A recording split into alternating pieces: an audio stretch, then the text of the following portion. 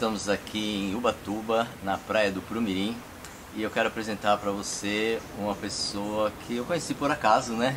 Nós alugamos uma casa em Ubatuba e justamente por acaso esse rapaz aqui, ele mexe com história da culinária, é isso? História da alimentação. História da alimentação no Brasil. No é. Brasil. E hoje ele vai apresentar para vocês alguns pratos com ingredientes caiçaras, né? E vai. Primeiro eu vou querer que você se apresente, diga Claro. quem que é e tal. É, e aí depois a gente vai pra cozinha, né? Perfeito. É Tá parte- bom? Uma das partes boas. É, a melhor parte. Não, cara, mas olha aqui, o que esse cara já me contou do que ele sabe da história aqui é fascinante, gente. Então, é, não saia daí antes da comida chegar, porque tem muita coisa gostosa que ele vai falar para nossos ouvidos também. Valeu. Então, é um prazer estar aqui conversando com vocês que acompanham o canal do Chico. Meu nome é Heitor, Heitor Barsalini, e eu sou pesquisador da história da alimentação no Brasil, especificamente no Brasil. E como eu moro aqui em Ubatuba, eu não sou daqui, eu sou um caipira proveniente lá de Itu, mas eu estou morando aqui desde 2009, então há 10 anos eu moro aqui. Eu acabei eh, me interessando por aprofundar o conhecimento e a pesquisa sobre a história da alimentação local. Então fiz uma ampla pesquisa, fiquei dois anos entrevistando pessoas das mais diversas idades, dos mais diversos lugares da cidade, que Ubatuba é uma cidade compridona, assim, ela tem praticamente 100 quilômetros de, de extensão, mas é uma, uma cidade estreita, então eu fui de ponta a ponta, entrevistando pessoas daqui, pessoas que migraram para cá, é, com essa temática da alimentação. Li inúmeros títulos, li é, publicações, recortes de jornal. Foi um trabalho bem de garimpagem mesmo que eu fiz e consegui juntar isso num texto, que é um livro que vai ser publicado agora em 2019, que conta a história da alimentação caiçara. E aí, conversando com o Chico, né, como eu disse, esses, esses Tudo a ver encontros- com o que eu faço no canal, né? é, quando a Isamara, que é a minha esposa que trabalha comigo também, falou, ah, vem pra cá. Vem pra cá, O- Isamara. E eu vou pra lá. Vem pra cá um Vem pra cá. Isamara. Oi, gente. Tá até de colar novo. Ela é ganhou. caiçara, Eu gente. sou Ela é caiçara. caiçara. Ela é caiçara. Ela falou, olha, vem pra cá um casal, eles trabalham com é, cultura é, regional, com coisas locais. Eu Falei, nossa, precisamos trocar figurinha. Então, aí desde que eles chegaram, a gente começou a conversar e foi um converser danado, já vai pra cá, vai pra lá. E como eu estava dizendo pro Chico, assim, é, a gente tem é, muitas informações, é muito rica a diversidade culinária aqui de Ubatuba, né, da cultura caiçara. Quando a gente fala hoje em, em comida caiçara, a gente pensa num tripé de sustentação, que é o mais comum, né? Que é a farinha de mandioca, a banana, normalmente a banana verde, e o peixe. Só que quando a gente vai conversar com essas pessoas, a gente vai descobrindo que isso, é, esse tripé de sustentação, inclusive, as receitas que eu vou mostrar para vocês são receitas calcadas nesses ingredientes, mas eu quero mostrar como é possível diversificar a partir de só três ingredientes. É, mas essa, essa compreensão desse tipo de culinária, ela é um recorte da história da cultura caiçara, porque é, praticamente entre 1880 e 1960 a cidade ficou isolada. Então é nesse momento que se desenvolve um determinado tipo de cultura que hoje a gente conhece como fandango caiçara, que são um conjunto de danças como a chiba, conjunto de ritmos tocados, a, a presença da rabeca, que é bem artesanal, rabeca, pandeiro, eh, viola de, de 10 cordas, essa viola caipira. Então, esse conjunto de elementos culturais que a gente entende hoje como cultura caiçara é um recorte daquilo, porque se a gente for falar de culinária caiçara ou de cultura caiçara, especificamente para alimentação, a gente tem que considerar que os primeiros caiçaras eram os tupinambá, que são os donos dessa terra. São caras que estavam aqui há milhares de anos. Então esse pessoal ele comia é, uma diversidade de, de proteína animal proveniente da caça, também o peixe e o que era As comida punks, né? Que a gente conhece hoje como punks, né? Então a, a dispensa do índio estava em volta dele, né? E o que, para a gente entender melhor assim, o que define um caiçara? Caiçara é um morador do litoral numa faixa de terra que está limitada entre o sul do estado do Rio de Janeiro e o norte do estado do Paraná por conta da Serra do Mar. Então só tem caiçara, só é chamado de caiçara quem mora próximo à Serra do Mar, porque a palavra caiçara significa cerca em língua tupi. É uma comparação, como se a serra fosse uma cerca que isolasse os moradores entre ela própria e a água e o mar. Então essa tripa de extensão territorial onde vivem os caiçaras. Então os primeiros caiçaras daqui eram os Tupinambá. E eles comiam basicamente churrasco. Churrasco não é coisa de gaúcho? churrasco não é tradição gaúcha? Né? Churrasco é coisa de índio. Mas aí vários Mas era um povos- churrasco diferente, não? Era diferente Meio do que a gente a carne, é conhece, é, eles moqueavam, né? Moqueavam, então né? o moquém era aquela grelha feita de paus é, sobre a qual eles colocavam pedaços de carne e um detalhe importante, sem sal, porque o índio brasileiro não consumia sal. Tem algum pouco registro do consumo de um sal de cinza. Então é um sal, não é aquele sal proveniente do mar. Parece, há registros, mas é, na história algumas coisas ficam meio no limite entre o folclórico e o real, mas há registro de que o primeiro contato que o índio teve com o sal, ele comeu algum, algum indivíduo indígena, não sei de que região do Brasil, e teria dito isso encurta a vida. Então é uma coisa que eles não conseguiam, que eles não consumiam. Então, Mas tem registro disso? tem registro dos primeiros cronistas, aqueles Ah. primeiros portugueses que vieram escreveram algumas coisas, mas são tão esparsos, são tão fragmentados que a Ah. gente fica na dúvida entre a veracidade e a, o lenda. aspecto, a lenda, o aspecto folclórico, né? E então eles temperavam essa proteína animal, essa carne, temperavam com pimentas, basicamente com pimentas. E aí aquilo era assado, então era paca, que vocês caiçaram, Vocês? os caiçaras Você adoram. aprendeu alguma comida com ela? Não, Eu não, Não? sei cozinhar, gente. Você já casou com quem sabe, né? é, eu falei, ah, não, eu não vou pra cozinha. Eu preciso conhecer alguém que eu fale os pratos e ele cozinha. Tá. Então, essa demais. parte da palpite, ela é, É boa. sou boa. doutorada. doutorada. Mas a Isa, a família dela, né, os tios, antigamente, antes da proibição da caça, era hábito dos moradores locais comerem caça. Então, porco do mato, tatu, é, a paca, os caiçaras dizem que é a mais gostosa de todas. Tudo isso era consumido pelos, pelos tupinambá que estavam aqui, né? Inclusive carne de gente, que era hábito deles consumirem carne humana. Então, de lá para cá, a gente vem com os ciclos econômicos, a invasão dos europeus. Então, a chegada dos europeus já traz novas referências. Por exemplo, existe até uma controvérsia com relação a isso. Estou lendo um livro que é o primeiro livro que diz que o fogão de lenha é uma tradição indígena. Até onde eu sei, não. A única maneira do índio preparar a sua proteína era moqueando, era assando. O fogão de lenha é uma tecnologia que vem da Europa. Inclusive o forno é uma coisa que não existia aqui. O forno é uma tecnologia europeia.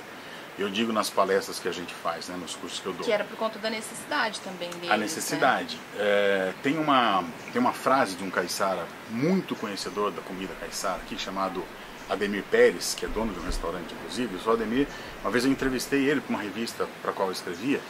Ele, ele disse uma frase que eu considero assim exemplar, assim, eu não esqueço dela.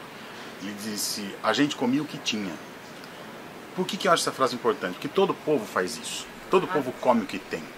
A gente perde essa referência, que hoje a gente vai num, num mercado e tem uma gigantesca diversidade de opções e a gente come aquilo porque tem. Então, sempre o ser humano vai estar se alimentando daquilo que é possível. E é essa capacidade de obtenção de alimento que faz um grupo humano ficar num lugar ou ir embora para outro. Normalmente as movimentações territoriais, não de expansão, né, mas as movimentações migratórias, elas dizem respeito à falta de alimento. Então a, a capacidade de, a- de onde vinha o carboidrato, que é tão importante na nossa, na nossa dieta, lá na Europa, vinha do trigo. Acontece que o trigo, se ele for, a farinha de trigo, se, ela for consumida crua, ela fica indigesta. Então ela precisava ser assado. Então, por algum desenvolvimento histórico, a tecnologia da época que foi se, se criando e foi se aprimorando, levou à criação do forno. Existe entre os antropólogos uma dúvida sobre se o forno foi criado para cozinhar as peças de barro, as panelas, ou se ele foi criado para assar comida, e principalmente o trigo, porque são mais ou menos a mesma época. Coisa nós estamos falando de 8 mil, 10 mil anos atrás. De qualquer forma, foi através desse artefato tecnológico chamado forno que os, os europeus conseguiram se alimentar de carboidrato. Só que por alguma outra coincidência dessas do mundo, ninguém registrou, provavelmente em algum momento, metal entrou, dentro, entrou no forno e a quantidade de calor que aquilo tinha derreteu o metal. E os caras se deram conta que dava para derreter metal e moldar artefatos inclusive bélicos. O índio brasileiro, ele se alimentava, em termos de carboidrato, da farinha de mandioca, porque ele precisava só daquela chapa de barro aquecida, tem todo o processo de ralar, espremer e tal, mas ele precisava daquilo lá, não tinha a necessidade de ter criado forno. Então, quando o europeu chega aqui, ele tem escudo, é, armadura, arma de fogo, espada, ele está protegido e ele está muito mais agressivo, belicamente falando. E o índio estava ainda na flecha de madeira com ponta de pedra, porque ele não precisou desenvolver tecnologia para se alimentar. Então, eu entendo por esse comparativo, por exemplo, eu entendo que uh, todo o desenvolvimento tecnológico de uma população, de um grupo humano, vem a partir da capacidade de obtenção de alimento. E em função disso. É, a necessidade faz com que. Com que a pessoa povos... crie maneiras e é, desenvolva técnicas de plantio e de caça sempre e de cultivo. a necessidade alimentar. Sempre, sempre, sempre. Isso aí é fundamental. Se você está com a sua alimentação provida, você se acomoda. Se você não tem, você vai em busca disso. E aí quando chegam os portugueses, né, não só portugueses, mas portugueses, espanhóis, holandeses, vêm para a costa brasileira, eles trazem é, a influência alimentar deles, mas se adaptam à alimentação local, mas também trazem novas referências, como por exemplo o fogão de lenha. Então não tem registro de coisas cozidas aqui, antes da chegada deles. E essa coisa do, do prato cozido, nós vamos fazer hoje o, o azul marinho, que é um peixe cozido. Nós vamos fazer o peixe salgado, peixe seco também com abóbora, que é cozido. Essa concepção de cozinhar com água é uma concepção que vem da, da Europa, principalmente de Portugal. Eles têm esse hábito de cozinhar e se nutrir do caldo. Então, um pouco de proteína, mais um tanto de legumes, vegetais, com bastante caldo. E aquele caldo é, restaura, tanto que o nome restaurante vem de restaurar. Então as pessoas que viajavam muito tempo paravam numa estalagem, que era um restaurante, e aí comiam alguma coisa que restaurasse as energias. E isso vem dessa, dessa coisa do cozido. E aí a gente tem o ciclo do açúcar, e a cana-de-açúcar entra na, na alimentação caiçara. É, a partir do momento que chega junto com os africanos escravizados, é, passa a integrar é, cotidianamente a, a dieta caiçara na, no preparo do, da, do caldo de cana para adoçar o café. A gente tem depois o ciclo do ouro, que foi um ciclo importante economicamente para a cidade, porque o caiçara que plantava a, cacha a, a, cana produzia cachaça, e essa cachaça era vendida para Paraty e pelo caminho velho do ouro subia até Ouro Preto. Então era importante para a economia da cidade. Depois a gente tem o ciclo do café. O Batuba tem uma curiosidade, foi a primeira cidade do estado de São Paulo a receber um pé de café. O café entrou pelo estado do, do Pará. Pará, Maranhão, tem ali autores que dizem Pará, autores que dizem Maranhão, mas no Maranhão não se desenvolveu o plantio. No Pará se desenvolveu e veio descendo pelo litoral. Então você está vendo aqui, ó, descendo o litoral aqui, e Ubatuba é a cidade mais ao norte do estado de São Paulo, no litoral. Então o, o café veio do Rio de Janeiro e foi a primeira cidade a receber o pé de café teve plantação de café, assim, suficiente para algum comércio, mas principalmente para o consumo local. Então, todas essas mudanças vão fazendo o caiçara de do começo, do começo não, do meio do século retrasado, 1860 mais ou menos, ter no seu espaço de subsistência a criação do porco, que esse porco doméstico veio da Europa, a criação da galinha que veio da Europa, a criação de pato, que era muito comum, né? Quando você muito, era criança, super. Tinha bastante. todo mundo comia pato. É é, a, a, o consumo da caça, o plantio da cana para consumo próprio, o plantio do café para consumo próprio, o plantio da mandioca para preparo da farinha. Então toda a comunidade tinha uma casa de farinha que atendia a um grupo lá de, sei lá, 15, 20 famílias. E aí as pessoas iam lá, faziam a farinha e distribuíam entre elas. A farinha é fundamental.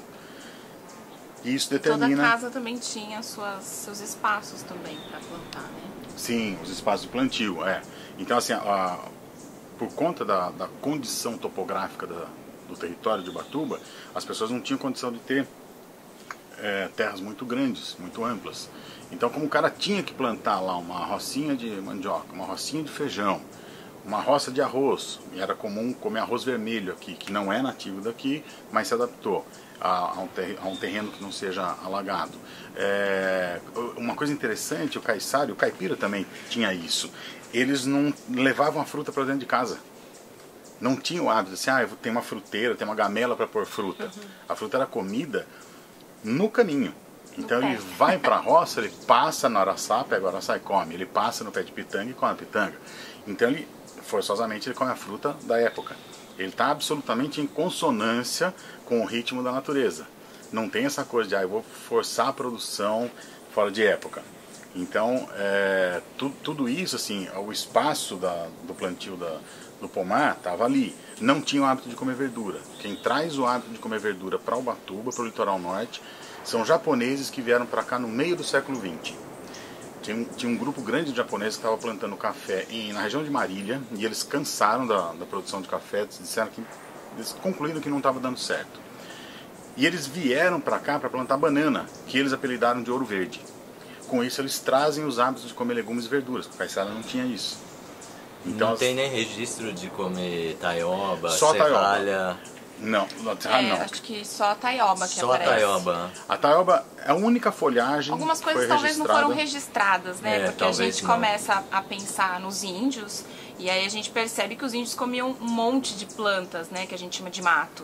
Então eu acredito que é, esse momento histórico não foi registrado. Mas leva-se a acreditar que, que, que existe. fossem as punks hoje. É, né? que a gente está é. conhecendo agora, né? Sim. Porque a gente também não conhece, né? Tá, ficou esquecido por muito tempo. Então. Mas não tinha não tá essa. Registrado. O hábito, esse, né? O hábito e esse conceito de que precisa. Sim. Por exemplo, para o funcionamento do sistema gastrointestinal. Por quê também? Porque a farinha de mandioca, quando reidratada, ela faz às vezes das fibras das verduras. Então, a farinha de mandioca ela nunca era comida seca, ela era comida reidratada, no pirão. O pirão é a base da alimentação do brasileiro de 1500 até 1950 mais ou menos. Um feijão tropeiro original, ele não é esse feijão seco que a gente tem hoje, ele é um feijão caudaloso, ele é um, um cozidão com um pouco de carne, um pouco de toicinho defumado, um pouco de feijão e bastante caldo. E aí preparava o pirão no prato. Então essa reidratação da farinha de mandioca funcionava como hoje funcionam as fibras. Eu sempre digo isso, pessoas, a gente dá as palestras, cursos por aí, a pessoa vem e fala assim, ah, é, essa coisa da alimentação saudável, como é que eu faço, tal. Eu sempre falo, olha, se você tem dúvida sobre um alimento, pense o que seus avós comiam, porque não vai ter erro. E quando a gente pensa nisso, a quantidade de ingredientes vai se reduzindo. Se a gente pega a população caipira, a população ribeirinha do Maranhão, a população caiçara, então assim são é, pequenas quantidades dos animais que eles criam, sem insumo de nada, sem ração, sem nada disso. O peixe que ele pega no rio ou que ele pega no mar, a farinha que ele, que ele cultiva, então não varia muito, não tem muita diversidade. Quanto mais diversidade, mais risco daquilo é, ter sido muito manipulado, né? muito, muito mexido. É, você está falando de saúde, de alimentação saudável, eu acho que a gente tem que lembrar também que os nossos antepassados, né? Eu acho que você falou avós, mas eu já vai para o bisavós. Sim, é. é. Um pouco mais longe, eu acho. Bisavós. Sim. É. Eles tinham uma atividade física intensa. Sim. E, e era natural. Pois é, é. isso também é, contribuía para a saúde deles, né? claro. né? Porque todo o excesso ele acabava saindo no suor. É. Então eles, vamos dizer, entre aspas, mereciam aquelas é, comidas muito pesadas que eles comiam, né? Eu relativizo bastante essa questão da comida pesada. Uhum. É a velha história do, quer dizer, não tão velha, né? Agora uma discussão quase nova, da, do consumo da banha suína, da gordura suína. Então, a gordura suína ela foi fundamental como é, provedora de gordura para o organismo. E a gente tem que considerar uma coisa importante: o conceito de gastronomia é uma coisa muito recente, é uma coisa que tem aí cento e poucos anos. Até antes do desenvolvimento, a gastronomia é o estudo de como você vai transformar aquele produto em um produto mais vendável. Então é você deixar mais bonito, mais visualmente atrativo, mais perfumado, mais saboroso para vender. Não tem a ver com saudável, com, com saúde alimentar. Até antes disso, a gente tinha um conceito de alimentação que veio lá da China, da Grécia, bem solidificado na Idade Média, que era em cima dos humores. As pessoas acreditavam que o ser humano era tinha o organismo humano era dividido em dois tipos, dois tipos de humor, frio e quente. Já ouviram aquela história da avó? Fala assim, não come tal coisa que é fria, não come isso à noite que é frio, não come tal coisa que é quente. Sim. Então, esse conceito vem de lá. Ah, é? É, é tão antigo assim? É, é antiquíssimo, vem dos gregos. E eu descobri depois que então, os chineses Então, os europeus é que teriam trazido isso da Trouxeram Ásia. isso. Então, a compreensão da alimentação era, você tem um organismo frio, você deve se alimentar de coisas quentes para equilibrar. Para compensar, equilibrar. E vice-versa. Eu, por exemplo, tenho um organismo quente, eu suo demais. Sempre fui. Aí eu preciso me alimentar de coisas frias. Então, a alimentação está muito mais ligada à saúde do que ao sabor. Quando os, os portugueses chegaram aqui, eles se encantaram com o abacaxi, com caju. Nossa, que são frutas frias. Nós precisamos levar para lá, que isso faz bem para a saúde. Aí eles não conseguiram levar, porque estragava. Quantos meses de navegação? Aí eles trouxeram a tecnologia que eles conheciam de preparar as marmeladas, que eram os doces, e aí começaram a fazer marmelada de abacaxi, marmelada de pitanga, marmelada de caju e levar isso porque açúcar conserva. Então a compreensão da alimentação estava nisso. E a banha de porco também está nisso. A banha de porco, eles sabiam que era importante consumir gordura, não tinha essa coisa de não, não pode consumir gordura. Consumiam do, do porco, o porco doméstico, esse porco de origem europeia, é muito importante tanto como provedor de, de carne, de gordura, quanto para a conservação da carne. Né? É, aí o que, que aconteceu? No começo do século XX, lá por 1930, deu uma doença em boa parte da produção dos suínos no sudeste, pelo menos. E foi uma, como se fosse uma, eu vou falar uma coisa, uma comparação meio grosseira, talvez eu esteja errando no termo, mas uma gripe suína. Isso durou uns dois, três anos. E isso deixou a população meio alarmada. Além disso, já existia naquela época a comercialização da banha industrializada.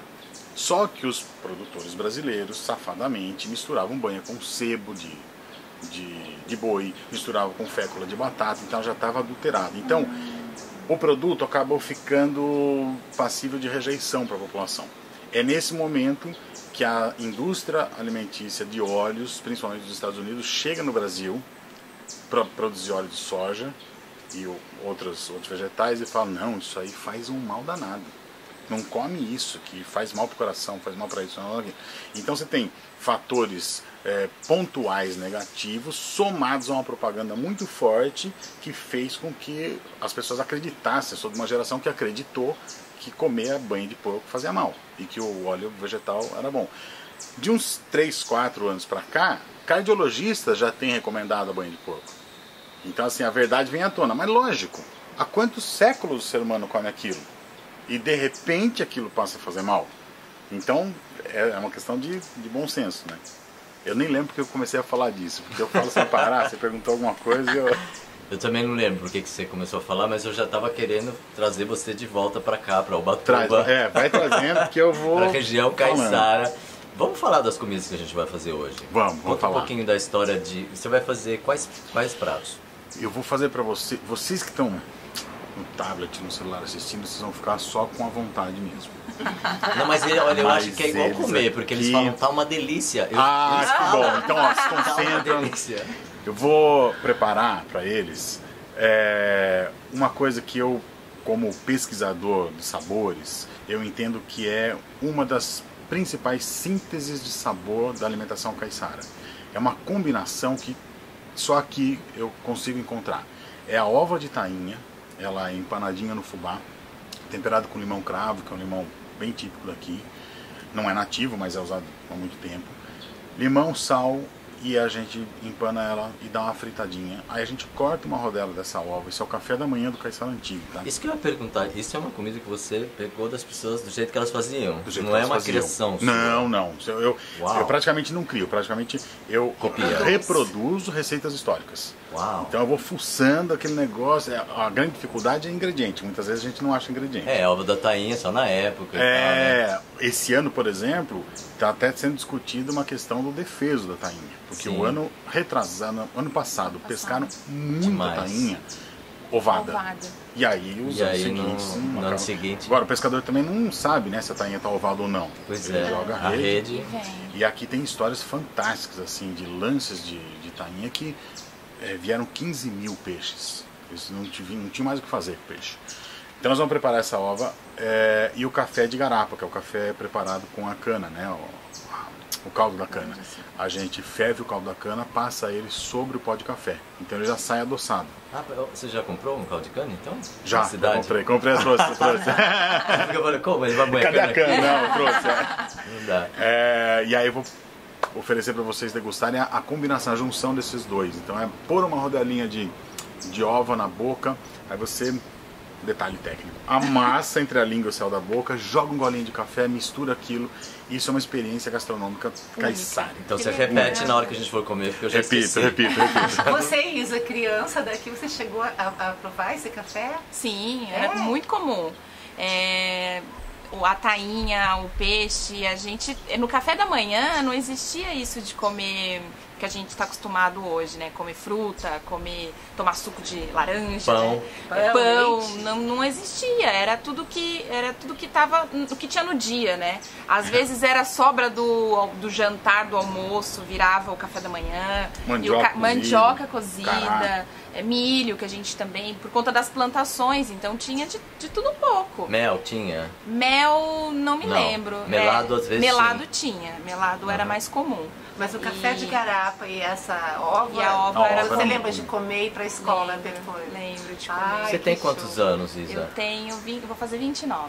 29, e você pegou todas essas coisas ainda? É, peguei algumas coisas. Eu tenho uma mistura muito grande, porque eu sou caiçara, é, nasci aqui, é, meus tios também, né, foram criados aqui, mas a minha avó era baiana. Então eu ah. tenho uma ah. influência caipira com Caiçara. morou em São Paulo também. Morou em São Paulo, então eu como. Eu, tem muitas coisas que eram muito caipiras. Que a gente até trocando assim informações de como era, era a referência mais caipira do que caiçara. Mas existia de tudo um pouco, era uma, uma experiência que boa. São, assim, que são é, indivíduos próximos, né? São culturas muito Sim. próximas. Uhum. Eu sempre digo caipira, caipira ou caiçara, caiçara né? de lá da serra, caiçara ou caipira do mar. a concepção, Sim. até a palavra, né? É, caapira vem daquele que corta o mato e faz a roça. E, então, assim, eles são é, indivíduos que estão próximos à, à, natureza, estão morando na natureza. Né? É, então, não muda muito a concepção é, espacial de construção de casa, é a mesma, aquela casa de, de barro, com telhadinho de sapé, né? baixinha. baixinha. É, tudo isso vem da, da cultura indígena e né, é. foi assimilada por esses, por esses, esses híbridos todos, né? o mameluco, o Cafuso, o Caboclo. O Heitor não escapa não, vamos voltar pra comida. Vamos voltar, vamos voltar pra comida. Já tá na casa aí, meu. É. Nós vamos fazer o café de garapa, vamos fazer ah, essa ova. Aí, como é, para degustação do prato principal, né? Eu vou fazer o azul marinho, que é um peixe eu vou trabalhar com peixe seco, porque o peixe seco é muito importante na história da alimentação do caiçara antigo. É, porque você falou, pescou não sei quantos mil quilos de tainha. Isso. Secava, né? Secava. É. é. uma técnica que veio trazida da Europa, é a mesma técnica do bacalhau. Então eles espalmavam o peixe, aqui eles chamam, é, limpar o peixe é consertar. Então eles consertavam o peixe, escalavam o peixe, que é espalmar, salgavam e punham para secar. E esse peixe seco, ele era importante porque ele era a reserva alimentar. Quando o mar estava. Ele era, era o freezer. É e o freezer, né? Exatamente. Quando o mar ficava arruinado, assim, que não dava para o cara sair pescar, ficava às vezes 10 dias ruim e tal, ele recorria a esse peixe seco. Então o peixe seco sempre tinha na casa do caiçara antigo, né? É, e tinha sempre a história do fumeiro em cima do fogão de fumeiro lenha, também, também para é. defumar algumas coisas. É, até porque aqui para secar no sol é complicado também, é, né? úmido. Pouco... Uma umidade muito grande aqui. É. Então nós vamos usar o peixe seco para fazer dois pratos. Um é o azul marinho, que é com banana verde, e um detalhe curioso é que o azul marinho leva esse nome porque o caldo fica azulado. Ele fica azulado por causa de uma reação química que acontece entre a cica da banana e a panela de ferro. Se não usar esses dois elementos, se a banana não for verde ou a panela não for de ferro, não azula. Aí é só peixe com banana. E a gente vai comer isso com farinha, vai fazer o pirãozinho na cuia. Nós vamos fazer também um prato caiçara, uma derivação do azul marinho, que é o peixe com banana, que é o peixe seco com abóbora, que eu aprendi no quilombo da fazenda, com a Laura, que é filha do seu Zé Pedro, e ela falou que era um prato que eles comiam com frequência. Esse Pedro que eu, que eu Isso, Zé Pedro oh, do, do, outro é? vídeo. É. Entrevistei a filha dele, a Laura, que me passou os elementos da, dos hábitos alimentares quilombolas, que são caiçaras também, né? São quilombolas, são locais aqui. Oi, Heitor, e os temperos disso tudo, assim, além do sal? Cebola, o sal que já está no peixe, então não vou acrescentar, e coentro do mato, que é um coentro nativo, que parece um almeirão. Sim. É um, ele tem um outro sabor, diferente daquele coentro que a gente costuma comprar. Você acha de, muito diferente o sabor? Completamente diferente. Não é nem aproximado? Lembra um pouco. Lembra. É, lembra um pouco, no fundo assim, mas é muito mais suave. É o mais outro suave, coentro é mais acha? forte, o outro coentro puxa mais a presença. Então depois eu vou ver a folha, mas assim, eu tenho chamado um outro um coentro parecido com esse que você está falando, eu achei que fosse o mesmo, coentro indiano. Ah, É, ele é perene, né? Ele não morre, né? Você vai cortando as folhas, vai Isso. Uhum. saindo e aí vai soltando Vai semente e ele vai brotando do lado. E aí também tem o nome de chicória no norte do, do Brasil. o norte do Brasil é. Será que isso não teria vindo com os portugueses lá da Ásia? Não, Pode ser. Não sabe, né? de Pode ser, é possível. Porque, Quanto por exemplo, a salsinha é um ingrediente habitual na culinária caiçara desse período que eu tô falando. E ela não é nativa do Brasil. Sim. Então é bem E possível tem, que né? isso- e tem, tem. É. É. bem possível que esse coentro tenha vindo de fora. Bom, você vai botar o coentro, salsinha e cebolinha. Salsinha e cebolinha. É, al- Não, salsinha e cebolinha não, desculpa. Não. Cebola. Ah. Cebola, Cebola. coentro, o peixe e a banana. É, algumas pessoas, quando, quando tinha, colocavam um tomatinho, aquele tomatinho cereja, que também é, aqui é mato. Aqui é uma... E aí tendo, hoje a gente não tem, então hoje vai ser sem o tomate. E vou fazer uma sopa d'água para vocês também. Uma versão com peixe seco, uma versão sem peixe seco. Garanto que pouca gente que está vendo esse vídeo já sabe o que é uma sopa d'água, mas vocês vão descobrir. Legal. Escuta, e vamos lá para a cozinha agora? Vamos. Você quer dar mais algum detalhe sobre a comida que a gente vai fazer? Não, a gente pode continuar conversando. Vocês vão me perguntando, porque assim. Eu acho que é o melhor jeito, Como né? diz a Isa, Ele falo fala. mais que a nega do leite misturado com a homem da cobra. Então, eu vou falando. o homem da cobra é bom, hein? Nega do leite. É. Então vamos lá, gente, vamos lá. Bom, a nossa cozinha, uma cozinha, uma cozinha de casa mesmo, né? Não tem é, um preparo assim para filmagem e tal, mas vai dar pra gente se divertir bastante. Vai dar muito, cara, não tem problema. Eu- Eu sou bem versátil para filmar, viu? Você não se preocupe. Eu já deixei mais ou menos no jeito aqui. Tem uma ordem das coisas que você vai fazer, vamos começar por Eu vou começar pela ova. Ó, Então, aqui ó, só para o pessoal ver, aqui é o peixe seco, a gente depois vai trabalhar com ele. A farinha de mandioca artesanal, aqui da tuba, né? Essa farinha é grossa, fina, média. Essa é a fina. Essa é a fina. É, tem dessa e tem um pouco mais grossa. Esse aqui é o coentro do mato, que a gente tava falando sobre ele. Esse aí é o coentro do mato. É, Posso tem- apertar ele para cheirar? Pode, claro. Tem um tipo dele que não tem esses espinhozinhos. Esse aqui ele ainda tá brotinho, ele fica um pouco maior. E é uma folha mais dura. E tem uma outra folha que ela é lisa aqui, sem espinho, ela é um pouco mais macia. Mas é- é- são variedades? São esses dois tipos que aqui são chamados de coentro do mato. Tá, deixa eu ver se é esse aí que eu conheço. É esse mesmo. É o mesmo? É o mesmo, é. Que é chamado de chicória. Pois é, é. E acho que conforme o lugar que ele cresce, ele fica com mais cheiro, menos cheiro. Tá. Então aqui, Isso aqui é ova de tainha? essa é a ova de tainha. Mas então você compra já processado. Não, não, Isso não é tem processo. É assim. Ah, vê- isso tá dentro da tainha? Tá dentro da tainha. Eu pensei que parecia uma salsichona. É, parece, é. Ela É. tem uma película, ela fica dentro da tainha. E agora eu vou. Ô, Rani, você pega pra mim um limão? Cravo? Isso não foi defumado, não foi nada? Nada. Eu só Esse tinha. cheiro é... Ah, não, o É cheiro é do peixe. Ah, o peixe tá cheirando, Ah. mas ela tem um aroma Ela tem um cheirinho? característico. Posso sentir o cheiro? Pode, claro. Isso aqui na verdade é Hum, o. é bem mais suave do que o peixe. é o caviar do caiçara, né? Aham. Bom, vou mostrar esse limão, que esse limão é o limão. Como é que você chama? ele? Limão cravo? Limão cravo ou limão vinagre. Que nasce aí praticamente sozinho. Né? É, também conheço como limão caipira. Um detalhe importante, gente, pra gente fazer a comida caiçara, eu tenho aqui em casa, sei lá, uma diversidade de facas. Tem faca de chefe, eu ganhei do meu amigo Fernando Mondim, facas ótimas. Mas essa é a faca da comida caiçara, porque é uma peixeira a lâmina de Ferro. ferro. Isso ajuda na, na coloração do Azul. do azul marinho. É. Aham. Então ajuda. Eu ia falar, quando não tem panela, pode cortar com a faca Ajuda, também. né? ajuda. Então a ova nós vamos temperar. Vou temperar a ova só com limão Uhum. e um pouco de sal. Então, como é que será que era a conservação dessa ova quando não tinha geladeira, né? Porque você tirou de dentro da geladeira, não foi? É, eu, eu tinha ela congelada, na verdade, que a gente não está na época da tainha ainda. Aham. Ela foi comprada no ano passado e eu tinha ela congelada. É, do- até onde eu sei, ela era consumida assim, pescou, tirou a ova, já consome. Já consome na época. É. O que é muito saudável também, porque você está o que é muito saudável, lógico. alguma coisa bem fresca, né? Agora, dá também para secar essa ova, dá para defumar. Você usa sal comum, sal marinho? Eu uso sal marinho. Sal marinho. É. Uma questão de, sais de você não é muito fã deles? Do Himalaia? É. Eu duvido que eles sejam do Himalaia, porque se realmente tudo esse tanto de sal rosa do Himalaia que está sendo comercializado veio de lá, o Himalaia está no nível do mar, mais, cara. Não.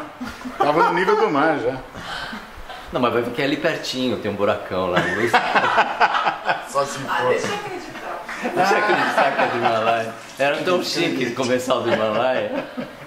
Olha quanto tempero, gente, que maravilha. Isso aqui é o paraíso. Deixa eu achar o fubá é aqui. E aqui as pessoas vêm assim e falam, não, por que vocês guardam tudo em vidro? Ué, porque Gente, aqui tem muita A umidade, né? umidade de Ubatuba não é uma umidade relativa, Dora, é uma umidade absoluta. Absoluta. Se a gente não guarda em vidro, não, não dura nada. As coisas embolaram muito rápido. Eu peguei um pouquinho das flores que você me ensinou a comer. Ah, essas flores de hibisco, né? É. Que legal.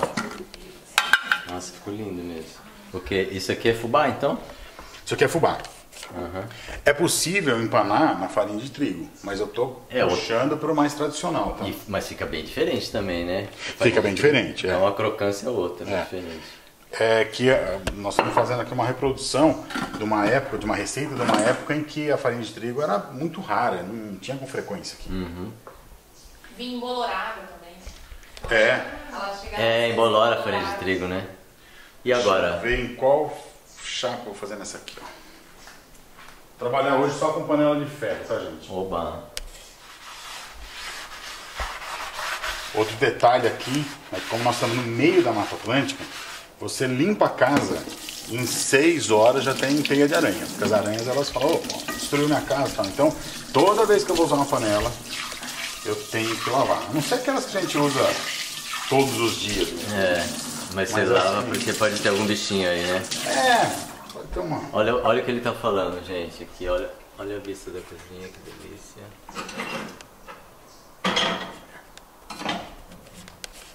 Bom, você vai fritar isso no quê? Eu vou fritar na banha de porco. Uau! Eu vou deixar secando ali. E a banha eu tenho conservada aqui, eu mesmo preparei. Então o que eu faço? Eu vou no açougue, aí eu compro 2 kg de toicinho gordo, pico em pedacinhos pequenos, em cubinhos, ponho numa panela grande, foguinho bem baixo e deixo. Aquilo vai derretendo, derretendo. Então depois de uns 45, 50 minutos, é só passar a escumadeira, tira os pedacinhos de fibra que ficaram e aí eu guardo, ó, já está meio no fim. Eu guardo a banha, dura meses. E a gente usa, vai usando um pouquinho. Enquanto tá pegando o gosto aqui do tempero, eu vou preparar o café Legal. pra gente. Eu vou fazer uma pergunta pra Isa. Ô Isa, Oi. você tem visto o pessoal comer isso, essa ova de tainha ainda? Sim, é, os caiçaras nativos eles consomem ainda. Ainda. Os mais novos, a minha geração e a mais recente, não tanto. Aham. Já não. Já faz cara feia. Você gosta de pratos. comer? Eu gosto. Gosta? Eu gosto. Mas- Tem muita comida que não se come mais. Então, os caiçaras, minhas primas que são mais velhas, elas consomem até hoje. Então, às vezes a gente faz e aí. Chama elas.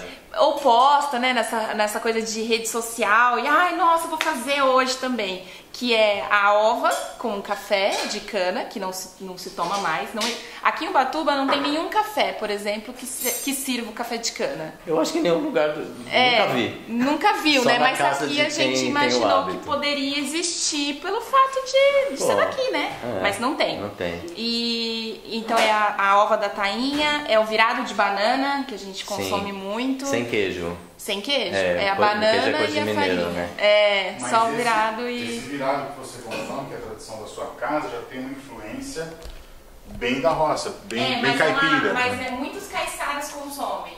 As minhas primas que são mais velhas que são caiçaras, elas consomem. É muito natural. aham. Tem Ô, coisas que se casam. né? Sim. ô Heitor, enquanto eu tava falando com ela, você já fez algumas coisas. Eu tô né? fazendo uma mistura aqui, porque é o seguinte, o caldo, só o caldo de cana fica muito doce. Fica mesmo. Então eu ponho metade caldo de cana, metade água, e Aham. aí eu passo dessa forma. E você Senão já fica- botou o café ali no coador, né? O pó já tá aqui. O pó já tá no coador. Já. Então, eu já eu vi uma vez uma pessoa fazer, foi até a dona Joana que fez o tipiti. Ela ferve o pó junto. Não. É um outro jeito. É, É um outro é, jeito de e depois ela coa. Aham. É um outro jeito. Bom, você tá. Aqui a banha. Banha. É. Eu vou até apagar o fogo para não queimar, vou deixar ela só para derreter. Tá. E agora eu vou empanar. Ah, você empana inteira. Empana inteira.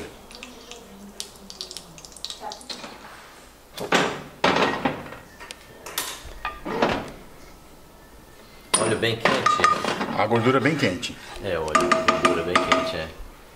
Tá fumaciando.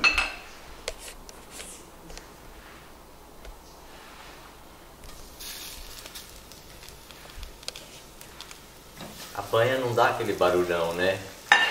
Que É, eu óleo, né? pouquinho também, né?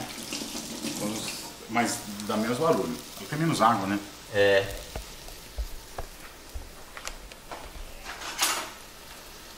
E aí eu quero ver o que você vai fazer. Você vai virar... Aí eu, eu deixo um tempo cada face dela. Aham, vai virando. É. É praticamente como se fosse uma selagem, né? Então a gente vai comer ova crua, né? Não, porque o calor da selagem, no meio ela fica mais macia. No centro ela fica menos Mas passada. chega a cozinhar. Vamos chamar de ao ponto. Ao ponto. Tá. Ovas ao ponto.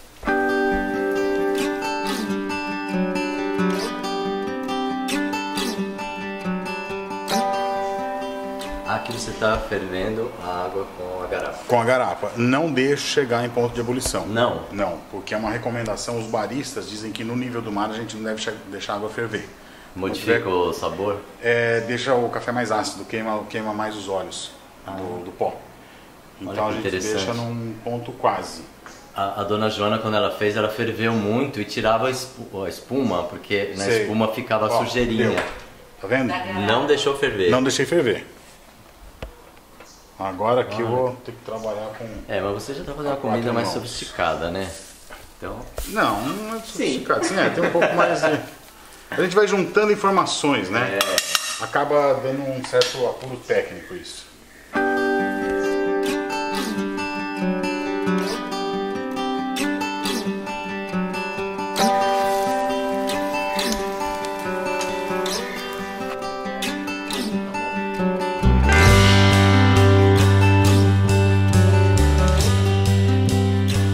Olha, eu, enviesado. eu vou falar um negócio pra vocês. Ah, Eu guardei essa ova porque eu intuía que eu devia guardar para uma ocasião especial. E a ocasião é hoje. uau. Chegou a hora. Que legal. Isso aqui é uma iguaria. É uma iguaria, sim.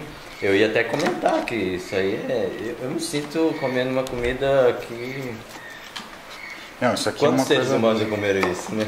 É. Tá vendo que dentro ela não, ela fica um pouquinho mais mal passada. É, parece um, um fubá que não cozinhou ali dentro, né? Isso, exatamente. E amarelo mesmo? Amarelo. gente? Agora Filma o pão é, do café também vai ficar bonito. agora é o pulo do gato é esse aqui, ó. Café de garrafa, gente.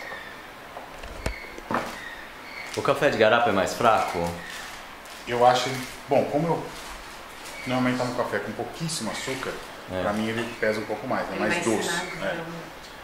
Aí como é que se come isso? Ah lá, Tá quente o café ainda, hein? Mas já dá. A gente põe um pedaço disso aqui na boca. E aí aperta contra o palato, é isso? Uhum. Aí eu fiz aquela pasta. Faz um teto?